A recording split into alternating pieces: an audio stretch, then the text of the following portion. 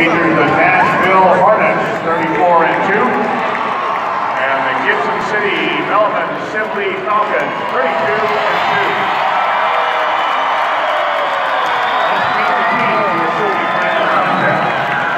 For the Nashville Hornets, a 5'8 junior, 4, J.D. Schubert. Five, Joe Morris. Six, Ryan Senior, 12. Jacob Nashaw. By sophomore, 14, Camden Ritzel.